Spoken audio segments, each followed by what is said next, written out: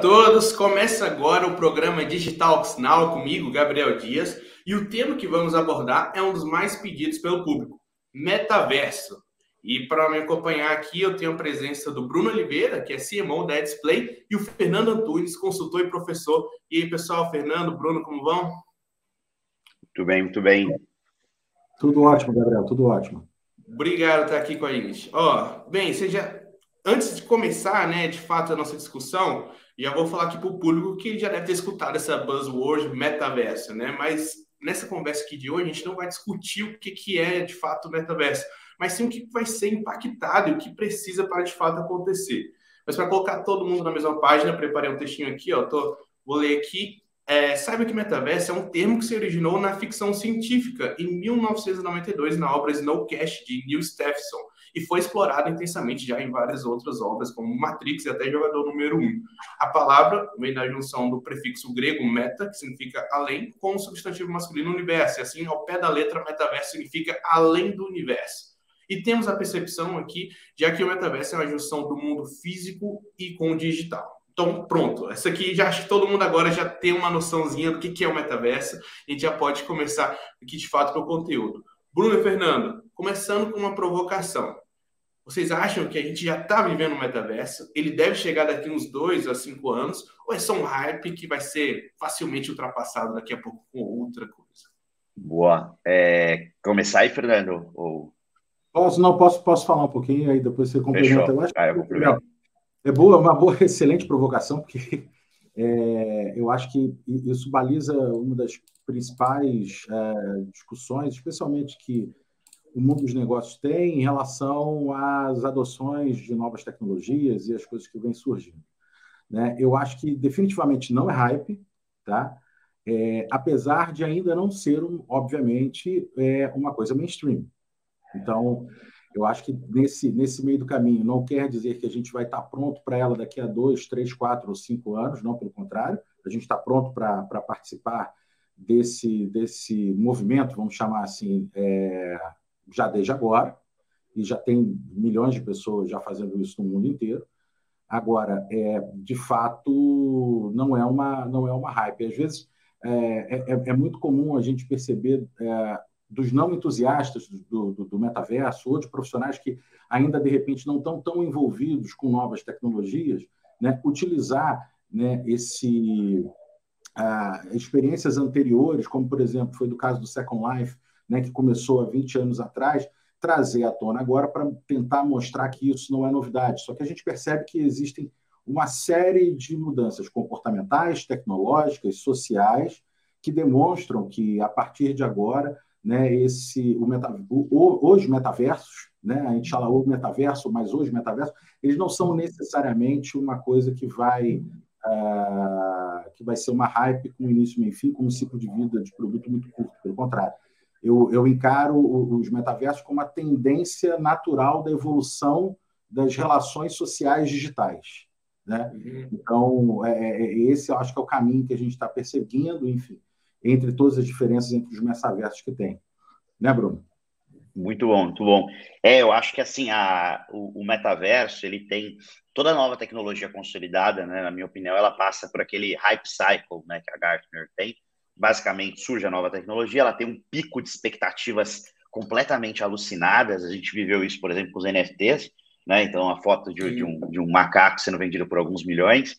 E depois você tem o Vale da Desilusão, que é quando as pessoas elas se desiludem com aquilo, que a expectativa era tão inflada que vem a decepção.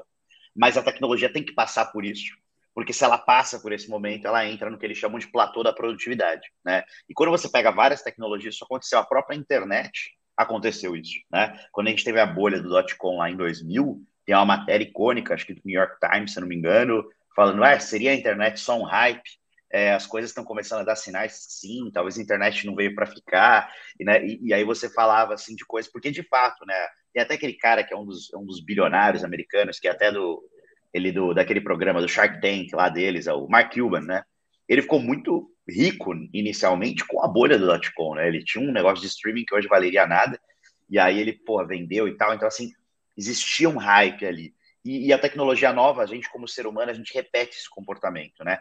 E repete o comportamento, e às vezes ele vai ficar viável para ser mainstream, como o Fernando colocou, ou não, né? Então, por exemplo, né, a novela do Neil Stephenson, né, que é o Snow, Snow Crash, é de 92. A gente está falando de o cara né, tem essa ideia lá atrás.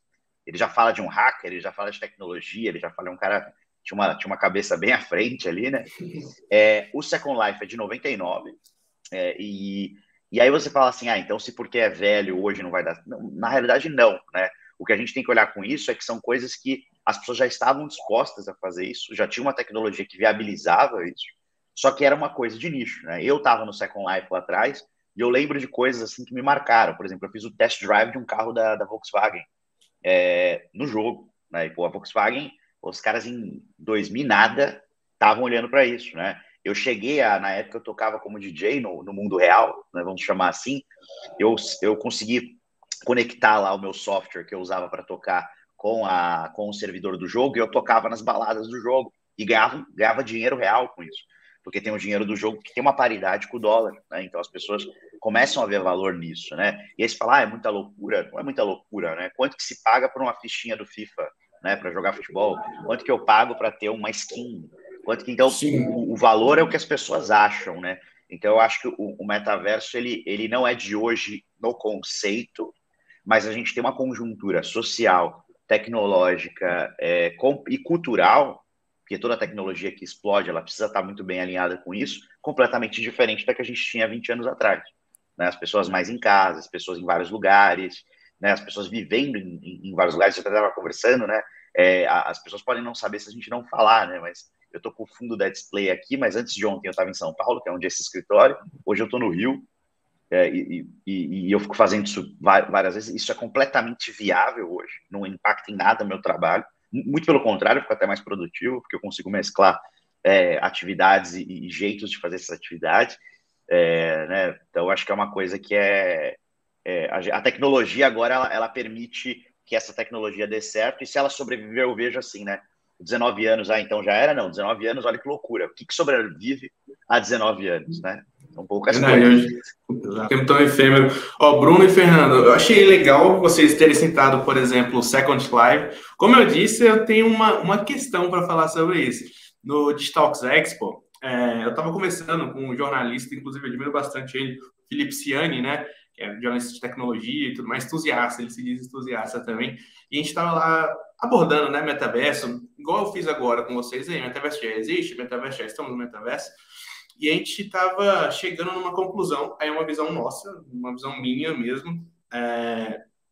muita gente fala do Second Life, ah, metaverso já existe desde a época do Second Life, mas é que tá, talvez essa não é a percepção do metaverso. O Second Life era uma vida que a gente tinha no virtual. O metaverso, talvez, é algo, por exemplo, eu uso esse meu óculos aqui.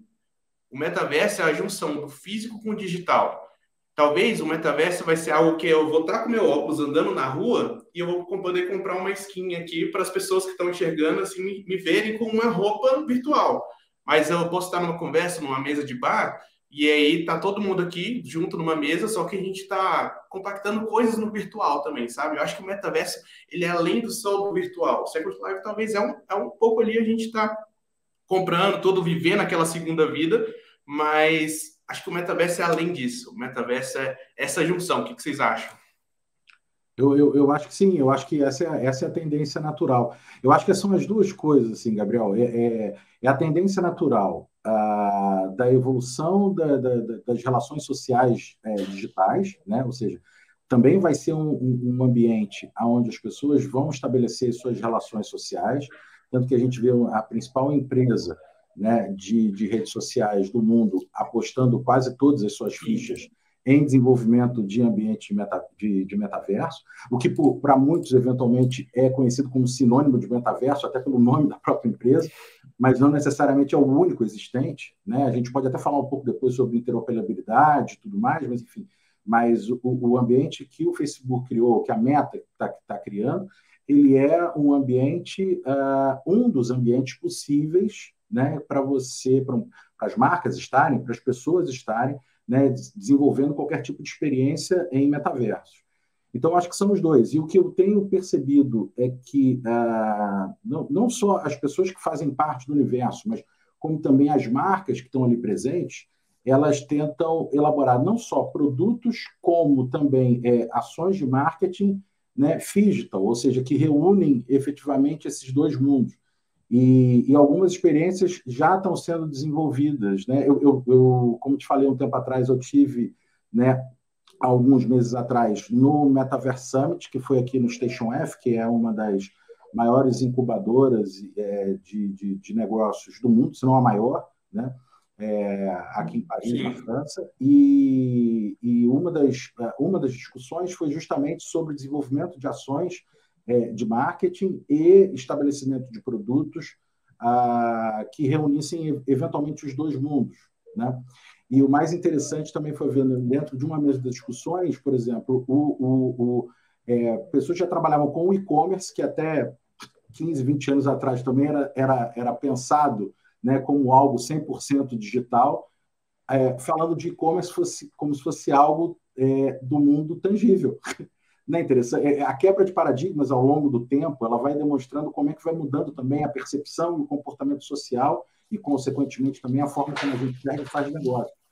Então, é, existem várias iniciativas desse tipo, como, por exemplo, no, no encerramento de um, de um, carrinho de um produto uh, tangível que é vendido no e-commerce, é oferecido como sugestão um NFT para se utilizar no metaverso, ou às vezes no metaverso tem algum uh, ou jogo, ou participação, ou festa, ou evento, Sim. ou alguma coisa que, que existe. E Fernando? Ganha um desconto numa compra de uma loja online, de uma loja presencial física. Então, Diga, Gabriel, desculpa. E, Fernando, eu vou pedir para você segurar um pouco, que a gente vai, então, vai chegar nesse ponto que a gente vai falar desses projetos, tudo que está acontecendo no metaverso.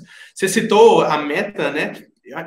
Eu confio ainda mais na Microsoft. Acho que a Microsoft é uma das empresas também que está à frente assim, de projetos do, do, no metaverso, desenvolver tecnologias. Mas e você, Bruno, para a gente fechar esse assunto aqui, esse metaverso é uma questão social de físico, digital? A gente já está no metaverso. Como é que você viu essa visão? É, eu acho que a gente já vive é, vários metaversos que se comprovaram e funcionam, né? Então, quando a gente fala assim, mesmo Second Life, que é um mundo virtual, que tem características do mundo real, você tem avatares, você tem, né? Então, você tem várias características que compõem um universo além do universo real, né? Que seria esse conceito, né? A gente tem um exemplo brasileiro, né? Os brasileiros são ótimos, é impressionante, assim. a gente pegou o GTA, né? A gente criou um mod do GTA, que é o GTA RP, o Cidade Alta, um dos servidores de maior sucesso, e as pessoas vivem no mundo do GTA como se fosse a vida real. Tem cara que trabalha de Uber.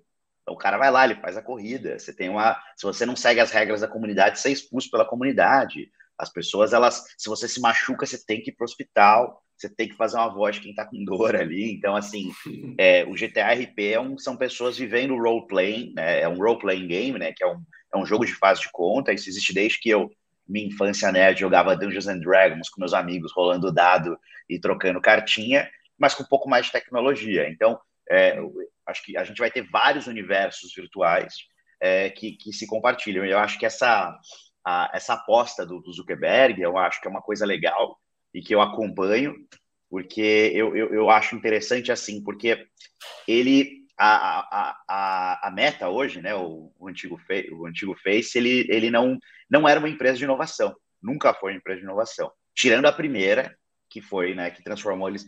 No resto, foi uma empresa de aquisições, que sempre fez muito boas aquisições. Né? Compraram o Instagram por um bilhão, o Instagram vale zilhões de bilhões hoje, já retornou em mídia muito mais do que isso. Compraram o WhatsApp por alguns bilhões e conseguiram. É, e todo mundo, pô, o Zuckerberg é maluco, o que ele vai fazer? É, como é que ele vai monetizar isso? E hoje é uma das principais ferramentas de conversational commerce, né? Que é um, é um, um tipo de e-commerce por conversação. Então, eu acho que a gente já vive num metaverso. E a grande dificuldade que a gente tem para essa consolidação é você ter universos que sejam acessíveis e gerem algum valor para o grande bolo, né? Acho que a gente ainda está na fase dos early adopters, mas você tem várias iniciativas, até como o Fernando citou, tem uma cerveja que eu compro todo ano, da, da Ambev, uma das cervejarias que a Ambev comprou, tudo que o sol toca, né, deles. Uhum. E no ano passado, quando você comprava, você ganhava uma NFT da, da cerveja. Teve Campari Week agora, da, da, da Negroni Week da Campari. Você ganhava também um NFT de um artista que te dava, você podia trocar por, por perks, sabe? Então, uma coisinha ali no bar, é, um copo diferente. Então, você começa a ver NFTs até como ingresso para entrar em certos lugares, para fazer parte de certos clubes, né? Então, iniciativas assim surgindo. Então, eu acho que a gente já vive um metaverso há muito tempo, né? Mas eu acho que como fenômeno social de massa, como é a internet, ainda não. Mas a gente está caminhando de uma maneira bem acelerada para isso.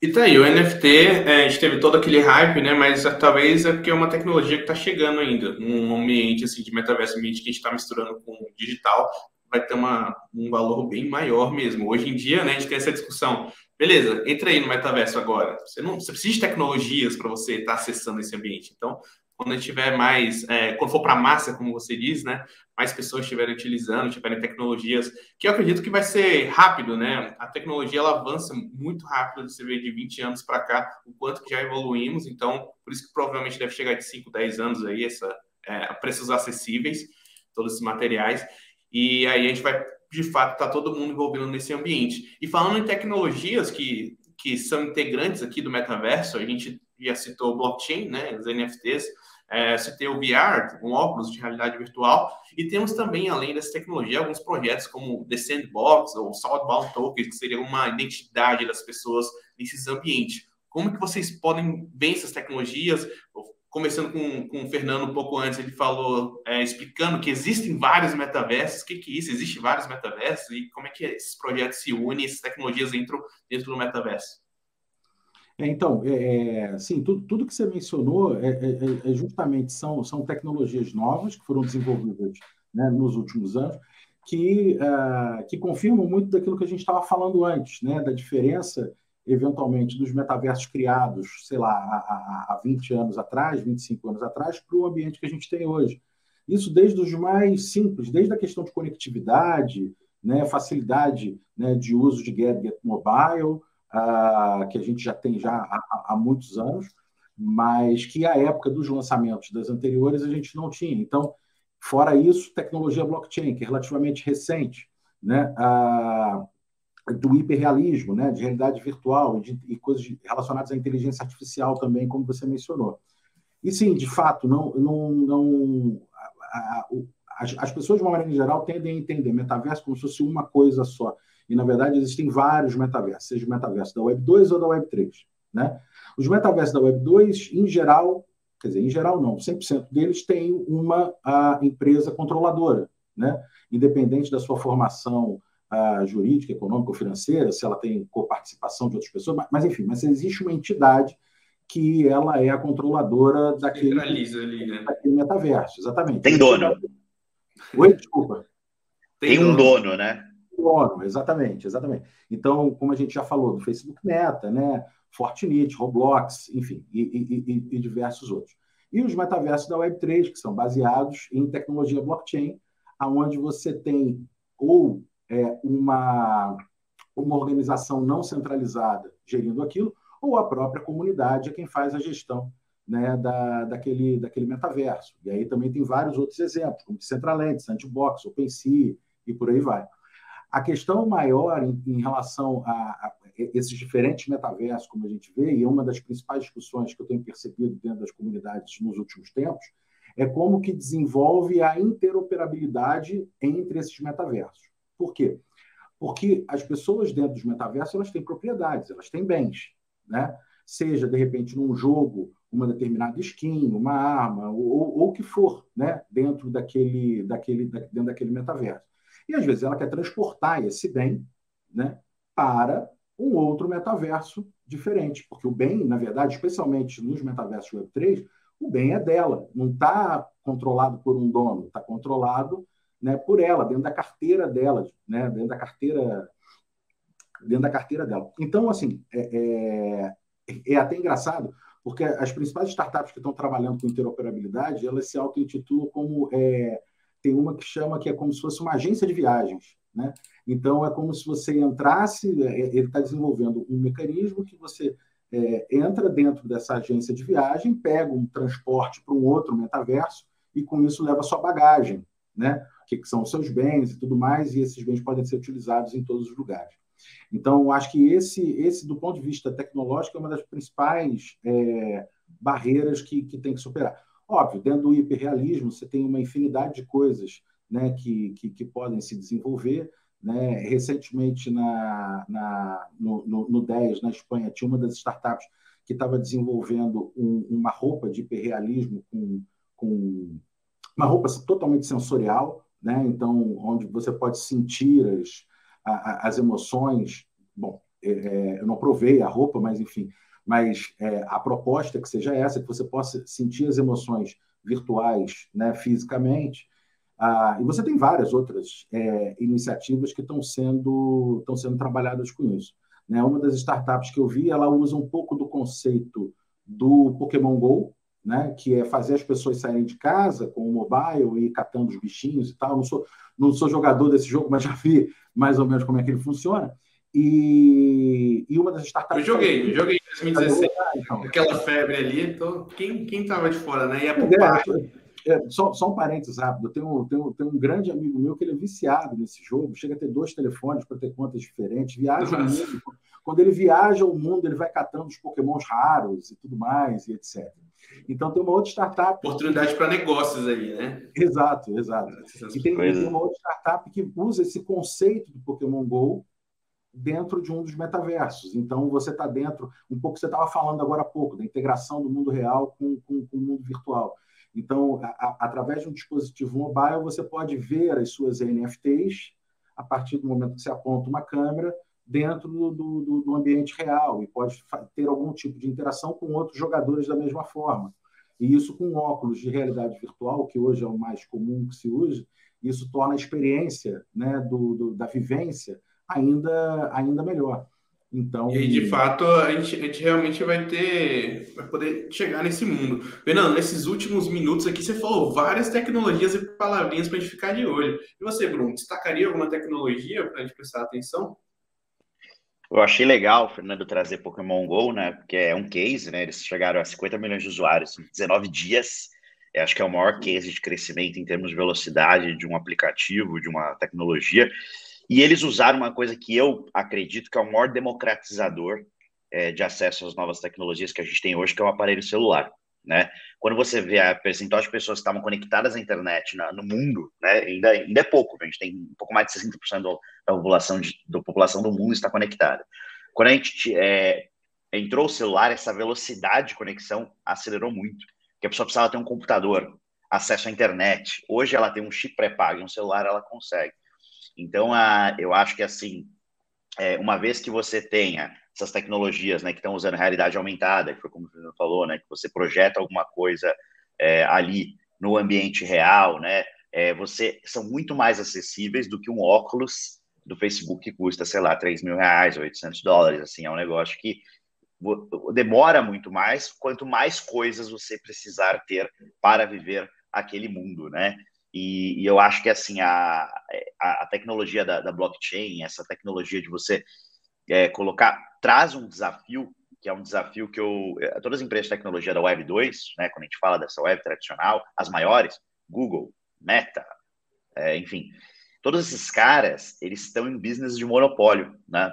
Então começam a questionar o Facebook agora, porque o TikTok está crescendo muito e espera-se que o TikTok roube, você não, você, não, você não pensa no mercado com dois players. O mercado de busca paga no mundo.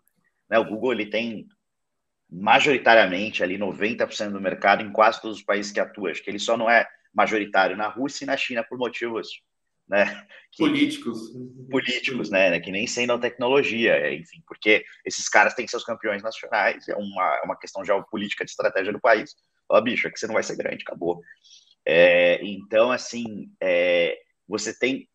É um business de monopólio. Quando você fala de comunidades se autogerindo, Web3, que ela fala sobre descentralização, ela fala sobre transparência, ela fala sobre coisas que são quase antagônicas ao que a Web2 construiu. Né? Imagina o, o, a receita da Coca-Cola, né? o algoritmo do Google ser exposto, o algoritmo do Meta, isso é inviável. Né? Então, é, na China você tem uma discussão muito grande, né, que o governo está é, tá querendo acesso aos algoritmos das empresas de tecnologia para ter um controle do que elas fazem, e isso aí já uhum. gera um frenesi do caramba. Então, assim, eu acho que para a gente estar tá de olho é que a gente está vivendo um momento dessa transição da Web3 que ele permite que muitas coisas sejam feitas. Então, por exemplo, né, a gente estava falando, a gente tem toda sexta-feira na empresa, a gente tem uma organização de vários líderes de áreas trazem coisas novas, né? E uma das coisas que a nossa pessoa de inovação trouxe essa hoje, nessa semana, a gente está gravando aqui, é, ela trouxe que a gente está tá, tá mapeando e testando, vai testar ali para um cliente, um anúncio onde você tem um mundo virtual, né, uma, uma, réplica de mundo virtual, um metaverso, e nesse mundo virtual tem assets, tem ponto de ônibus, tem, tem placas, tem e a gente vai começar a inserir programaticamente anúncios nessas placas é, de acordo com segmentações ali daquele mundo, porque no mundo virtual cada passo é mapeado, né, cada coisa, cada fala, tudo é mapeado, né, e no mundo real a gente tem geolocalização? Tem, mas eu preciso de três pontos de GPS para saber exatamente onde uma pessoa está. É, eu não sei o que ela falou, eu não sei como ela reagiu, eu não sei se ela se emocionou, eu não sei se ela achou legal, não sei se ela comentou com alguém. Então, esse mundo ele permite uma coisa muito maior, muito, muito mais ampla do que a gente está falando. Eu acho que a gente está tá na pontinha do iceberg, sabe? A gente colocar um óculos ou mirar um celular e ver alguma coisa é só o comecinho de um mundo de possibilidades muito maior. Mas, na minha opinião, eu gosto muito, sou entusiasta, mas eu tenho uma tem uma visão sempre um pouco cética quanto à adoção, enquanto ela não é acessível. Mas eu acho que uma vez que uhum. conseguirem deixar o celular ser um dos meios de acesso, a gente vai ter uma adoção massiva, porque é uma tecnologia que é legal, é consolidada e há 20 anos está aí. É, as pessoas mostram que elas gostam, elas gostam de, disso. Então, é, eu acho que tem, tem, tem um bom futuro. Imagina quantos dados a gente vai conseguir coletar para personalizar né, todo esse caminho assim.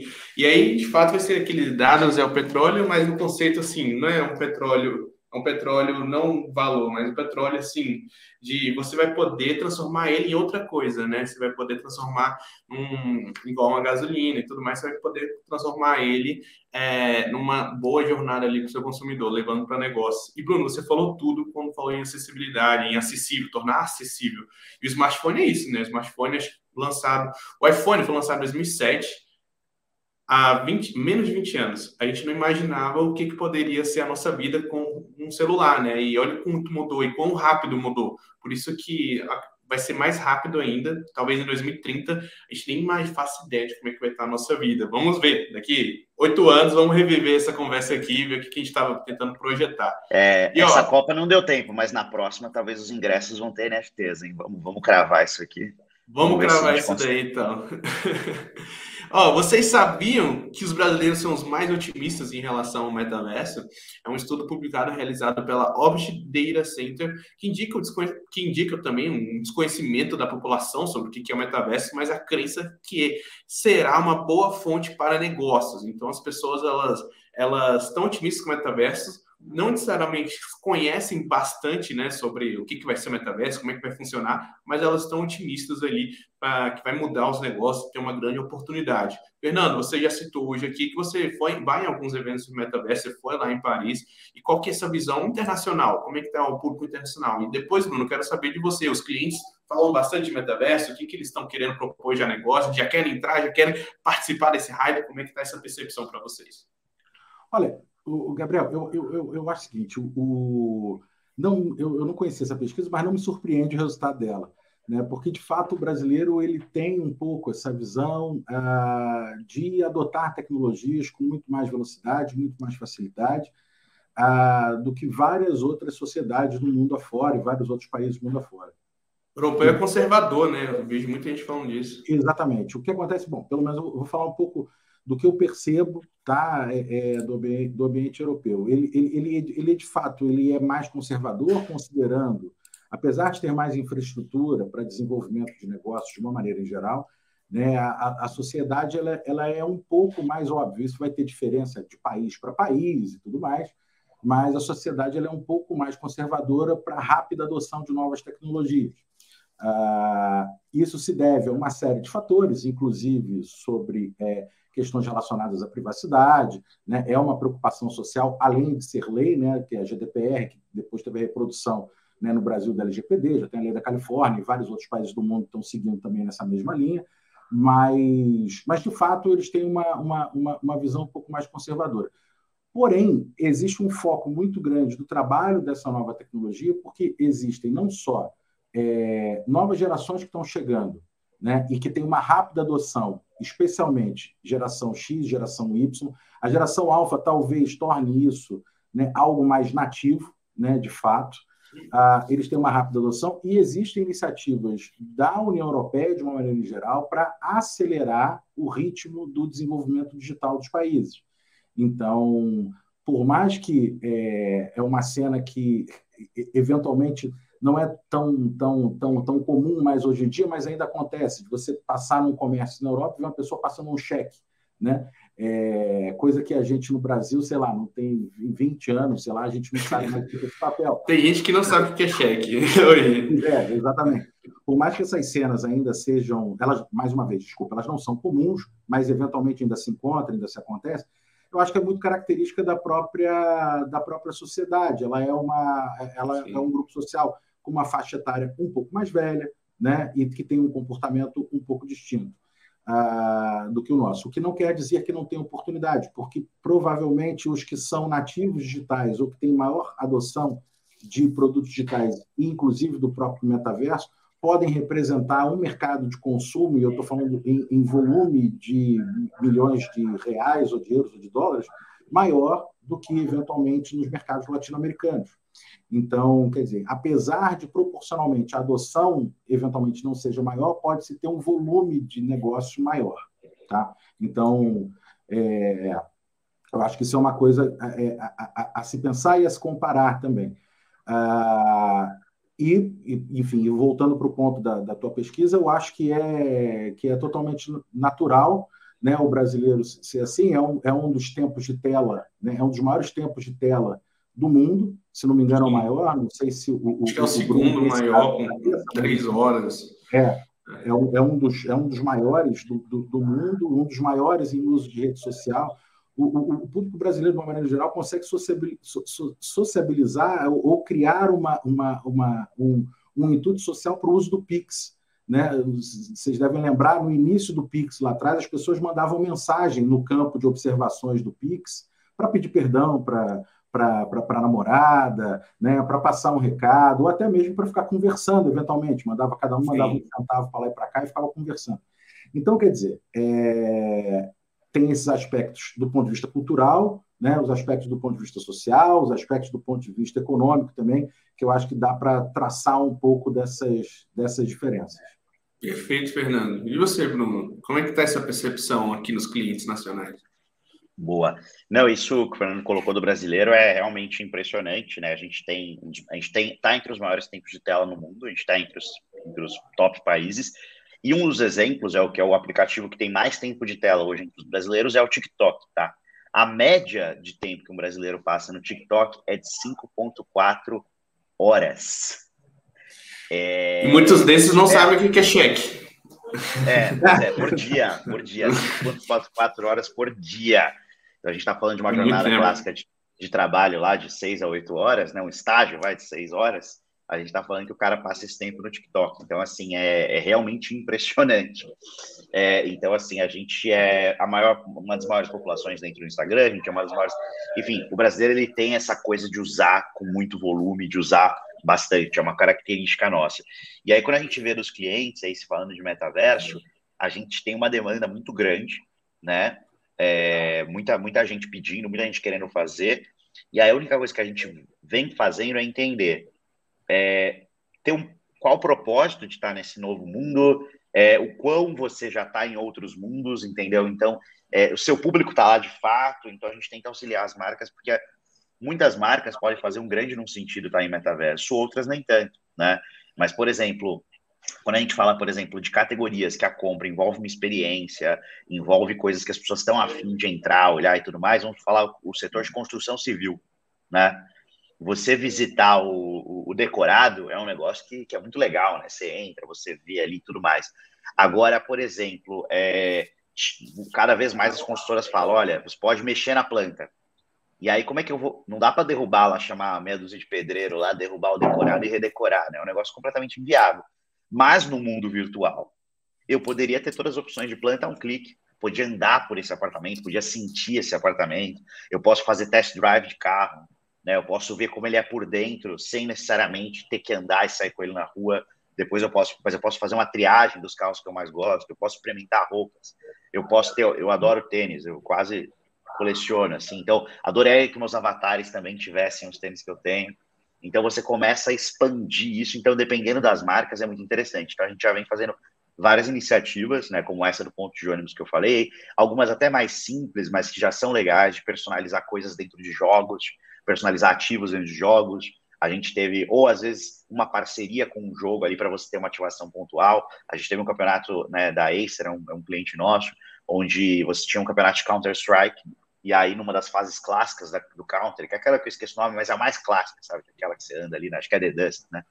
E a gente, o jogo lá, né, pô, grafitou o logo dos caras nas paredes. Então, você começa a trazer as marcas né, do mundo real para terem experiências virtuais e o, o consumidor quem entra na frente e o consumidor gosta disso se surpreende, né? O cara tava lá no, assistindo o campeonato, de repente ele, caraca, tem um grafite aqui que os caras fizeram. Putz, caramba, o ponto de ônibus mudou com a marca tal. Caramba, eu consigo entrar na planta desse prédio. Então, cada vez mais a gente sente que, que, que as, as marcas vão entrar para isso. Sim. Não, deixa eu só falar um negócio para o Bruno, que em breve você já vai poder comprar o teu tênis porque, se eu não me engano, foi a Nike ou a Adidas, agora me falha. A Nike. Foi a Nike, exatamente. Ah, sim. Ela comprou, Nike... Tá- comprou uma fábrica de tênis digital. Na verdade, ela comprou um estúdio de criação. Esse estúdio de criação cria esses tênis, vai via NFT, você compra NFT, ele é tua posse, e você pode depois usar isso dentro do, do metaverso, ou dentro dos ambientes digitais que você queira. Então, já, já muito em breve você já, já vai poder usar o teu tênis, enfim, e quem sabe mais para frente outras marcas também da indústria de vestuário, de uma maneira em geral, também vai Sim. poder estar presente dentro do, desse universo. Olha, a Nike né, é uma dessas empresas que já estão com projetos do metaverso, citando aqui de cabeça, Stellar Toar, Americanas também lançou um projeto de games, e indo parte final aqui da nossa conversa já. Infelizmente, a gente já passou muito rápido aqui, queria ficar um tempo conversando com vocês, mas eu queria saber como que o metaverso vai de fato afetar os negócios na visão de vocês e qual deve ser a atenção para as empresas hoje. O Bruno já deu uma adiantada ali que precisa de questão de propósito, né? Acho que a empresa precisa entender. Eu preciso estar no metaverso agora, mas eu preciso ficar de olho nela. O que é essa visão para vocês? Como é que o metaverso vai afetar os negócios? Então, Gabriel, eu, eu acho que, bom, no primeiro passo, olhando, olhando sobre um prisma necessariamente, mais falando sobre digital e sem ser necessariamente sobre metaverso, e isso me veio à cabeça agora, porque a gente estava falando, falei agora há pouco sobre GDPR e etc e tal, né? E isso é uma preocupação que eu, eu percebo, de repente, daqui da Europa, que vai começar a se alastrar isso um pouco mais rigidamente né, em, todo, em todo mundo as preocupações sobre o uso dos dados, né, e uma série de outras coisas, e necessariamente né, o de acordo do usuário para o uso desses dados, etc. Além disso, a gente tem o futuro sem cookies, né, ou seja, que já está batendo a porta aí. Eventualmente, quem está assistindo esse vídeo ainda não conhece, pegue um artigo sobre cookieless features que eu, que eu escrevi um tempo atrás, que eu acho que vale a pena vale a pena entender um pouco mais do que está por vir. Né? O Google está adiando isso, mas uma hora vai acontecer. Né? Ah, e aí, com isso, o, a, a, captação de dados, eventualmente, ela vai mudar. Né? Tem gente que fala que vai priorizar agora os dados primários, com de acordo do usuário, tem outros que já olham para isso como os dados dentro da Web3, onde você vai ter a posse dos próprios dados, você vai compartilhar com as empresas e com os negócios que você quiser, e por aí vai. Isso, obviamente, ainda não é uma realidade factível atual, mas já é um ponto de preocupação. Né? E como, eh, na minha visão, o executivo de marketing ele tem que ser um cara que ele tem que ser antecipador de tendências, né? porque se ele, se ele, se ele não antecipar a tendência, ele está fazendo o que provavelmente o concorrente dele está fazendo. Então, ele já deixou de, de antecipar alguma coisa, deixou de sair na frente. Então, pensando em antecipar a tendência, eu acho que isso é uma preocupação e eu acho que os metaversos eles podem ser um, grande, uma grande ferramenta para a construção de comunidades.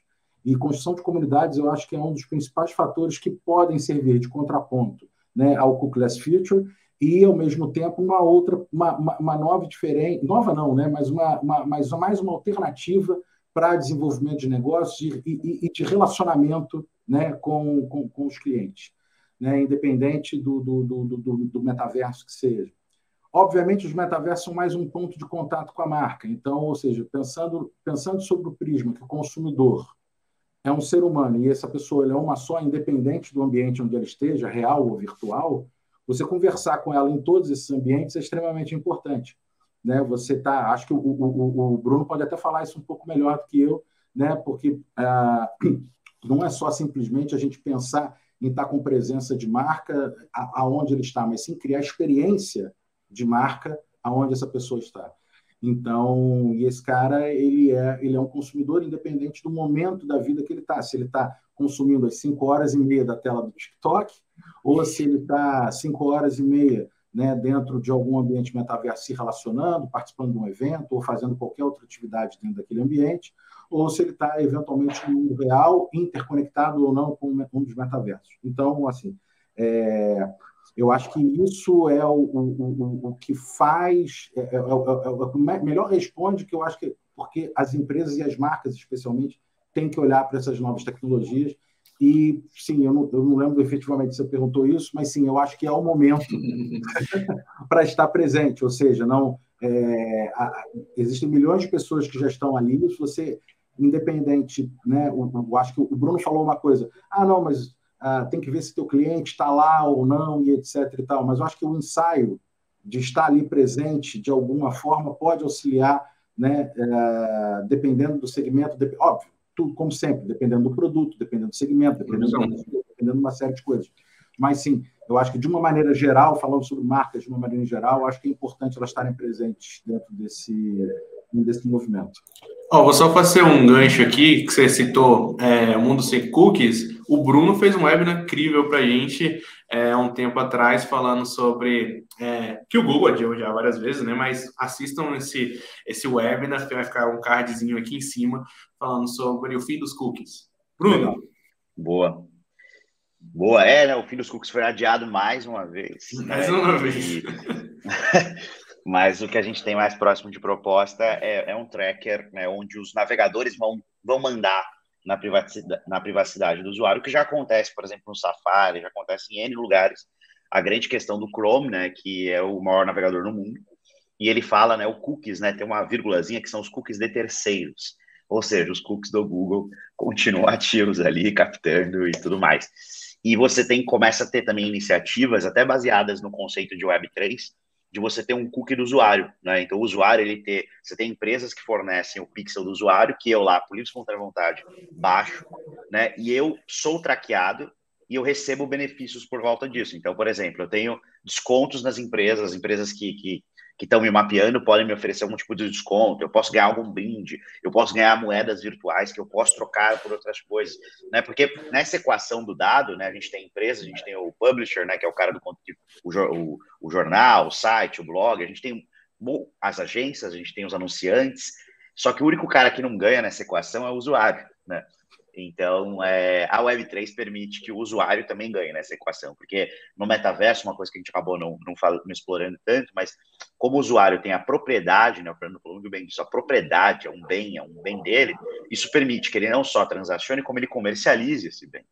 Né? Então, esse bem, ele vale um dinheiro ali, então ele começa né? E aí você fala, putz, ah, então eu até achei aqui um tênis Nike, Fernando, da RTF KT, que a empresa que a Nike comprou, mas está tá um pouco fora do meu budget, aqui está no leilão, é, foi lançado há dois dias atrás, já está em 5,9 Ethereum, que dá mais ou menos 43 mil reais, é, ou 8 mil dólares. E tá no leilão, assim, não é que eu, ah, não, tem um maluco que deu o vídeo, não, tem uma galera se matando ali, é, leiloando ele, é bem bonito, é com uma artista que até eu, eu acompanho, e, mas é isso, assim, eu acho que você tem um, você, você tem essa, os caras estão lá, imagina só o retorno né, disso, de trazer essas experiências. A gente fala do percentual do experimento. Por mais careta que você seja, por menos que você acha que você pode inovar, pelo menos 5 a 10% dos seus investimentos estarem em coisas completamente novas, que se você perder tudo, tá tudo certo, né? A vida vai continuar. Mas você se deu, se permitiu tentar estar lá, é o que a gente tenta trazer para as marcas. Putz, eu tenho um orçamento muito limitado, talvez espera mais um pouco. Pô, eu tenho um orçamento um pouquinho mais folgado, 5 a 10%, não vai descobrir o meu colchão? Putz, é legal fazer, porque você está no metaverso, você está no anúncio novo, você testar alguma tecnologia nova, então a gente tenta trazer isso muito para as marcas é, nessa hora de fazer a triagem, que às vezes pode não parecer que não faz sentido, mas depois quando você vê faz sentido para caramba, né? Então, a Nike sempre bateu muito em esportes, né? Essa guinada deles para o streetwear, para o hype, é uma coisa que muitas marcas fizeram de uns anos para cá, né? Quando começou a ter esse negócio das collabs dos rappers, a, a Off-White, né? Até o, o, fundador que, que, faleceu já, mas é um cara que, que mudou um pouco a cara. Ele, ele trouxe, trouxe moda de luxo para uma moda de rua, né? É, e aí as pessoas começaram a pagar 43 mil num tênis virtual. Né? E, e, não é tão loucura, né? Porque você tem tênis que valem né, absurdos hoje, porque são coisas, itens de coleção. Então eu acho que a Nike acertou a mão, porque no final do, do dia, NFT é o quê? Álbum de figurinha da Panini, é coleção. Né, colecionador, é, é esse hábito do ser humano de colecionar coisas e guardá-las. Então, é, a gente tenta sempre falar para as marcas, que às vezes pode parecer que não faz sentido nenhum, mas, cara, pensa nos 5, 10% que não vai fazer falta e, e, te permite testar, porque você pode surpreender positivamente. E se der errado, tá tudo certo, porque a inovação não existe sem errar. Isso. E esse pequeno teste, né? Caso é, já chegue no mundo aí do metaverso, você já está lá, você já está experimentando, você já sabe o que fazer. Então, vale a pena, né? Mesmo que seja baixo, então é bom entender como é que funciona toda essa realidade. Bom, Fernando, Bruno, não há mais tempo para nada. Obrigado pela conversa de, com vocês. Na verdade, eu vou deixar vocês fazerem uma consideração final. Então, quiserem falar um pouquinho sobre vocês, indicar ó, quem quiser encontrar vocês no LinkedIn, por onde procurar, então deixar esse tempo aí é, e vocês podem passar uma mensagem final. Vou começar com o Fernando, que iniciou todos os nossos bate-papos aqui. Fernando, fique com você.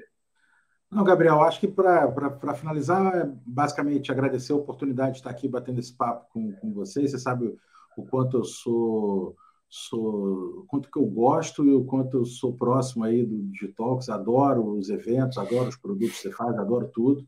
Então, obrigado pelo convite, obrigado pela oportunidade de conhecer o Bruno também, que é um craque né, é, do tema. E, enfim, quem quiser, de repente, discutir um pouco mais, alongar essa conversa, é fernandoantunes.com. Só chegar lá e bater um papo comigo. Perfeito, valeu, Fernando. Bruno, Vou agradecer mais uma vez o convite do Detox, a oportunidade de conhecer o Fernando, foi muito legal, adoro ter esse tipo de papo, ainda mais com, com quem conhece, está super dentro, ter no backstage, aprendi um monte com ele aqui também, antes da gente ir para o ar. E, e né, na, na, no LinkedIn é só colocar como meu nome, é bem comum, Bruno Campos de Oliveira, então Bruno Campos de Oliveira é display, aí você me acha certinho lá, sem erro. E também, né, seguir a Display nas redes sociais, a gente está com vários materiais que a gente tem, principalmente agora para a época de Black Friday, que vai ser um ano desafiador, né? A gente vem em um segundo turno, depois vem a Copa do Mundo, o Brasil estreia na Copa no mesmo dia que começa Black Friday e depois vem o Natal. Então a gente vai ter um final de ano aí completamente novo, né, na história, nunca antes vista na história desse país. Então é, a gente fez muitos materiais e muita coisa aí para ajudar os anunciantes nesse momento. Então, só seguir lá que a gente, com o maior prazer, manda e faz reunião, faz auxilia, né? Nossa ideia é sempre auxiliar o mercado com informação, que a gente entende que todo mundo ganha e todo mundo cresce. E é isso aí, muito obrigado, Gabriel, por mais uma vez aí. Que segundo semestre será para o brasileiro, hein? E obrigado, pessoal. Conversa muito gostosa de se ter. Para finalizar aqui, se você estiver assistindo esse vídeo, no momento que ele estiver sendo lançado, no dia 8 de novembro, a gente vai ter um evento para discutir metaverso, metaverso inovação vai ser em São Paulo, Digital Executive, então não deixe de procurar e se informar e querer participar. Vai ter muita gente craque lá discutindo também é, questões de metaverso, tecnologias e como você pode colocar a sua marca lá no metaverso. Obrigado mais uma vez, Bruno e Fernando. Obrigado a você que acompanhou a gente. Ficamos por aqui. Esse é um Digital Now. Valeu! Valeu.